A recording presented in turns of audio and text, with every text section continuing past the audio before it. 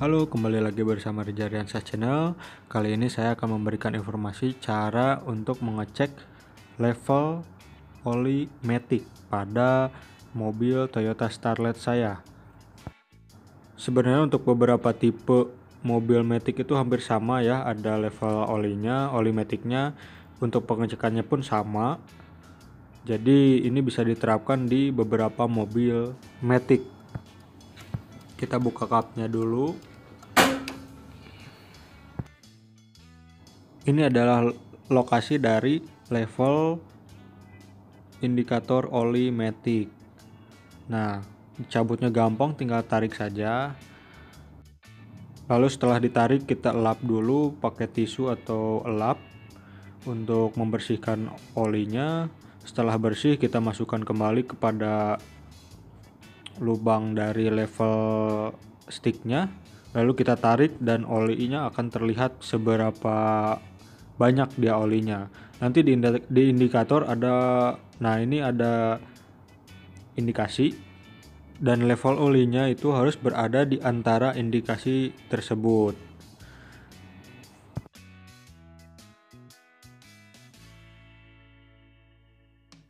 Jika mesin dalam keadaan dingin, maka Anda harus cek oli matic itu harus berada di antara indikator ini.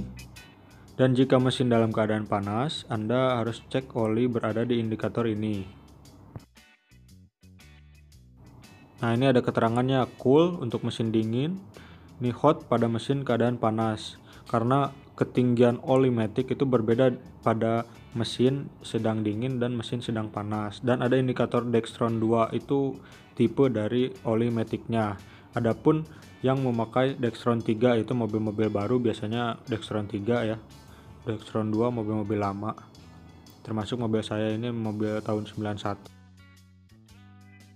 setelah dicek jika olinya kurang dari indikasi atau sedang atau low maka kita bisa isi dari lubang stick level olinya. Nah dari sini juga bisa kita masukkan oli pakai corong yang kecil kita tambahkan lalu kita masukkan lagi level oli dan kita cek apakah levelnya sudah dalam batas aman. Jika gearbox di bagian bawah itu dalam keadaan basah atau ada tetesan-tetesan oli, maka kita harus lebih rutin untuk mengecek level oli matic. Karena jika kita telat mengisi oli matic, nanti akan bermasalah pada gearbox matic kita. Karena berbeda dengan gearbox manual, manual itu olinya itu gardan, kita tidak bisa ngecek gardan e, dengan level stick sedangkan oli matic itu sangat vital sehingga kita harus benar-benar cek level olinya terutama mobil-mobil lama atau mobil-mobil yang sudah berumur. Apabila oli matic setiap kita pakai itu olinya selalu menurun nah itu harus tanda-tanda apakah ada kebocoran di packing dan itu harus segera kita tangani sebelum rombesannya semakin banyak dan kita mendapatkan masalah pada saat kita menggunakan mobil tersebut. Oke, terima kasih sudah menonton. Jangan lupa like, share, dan subscribe.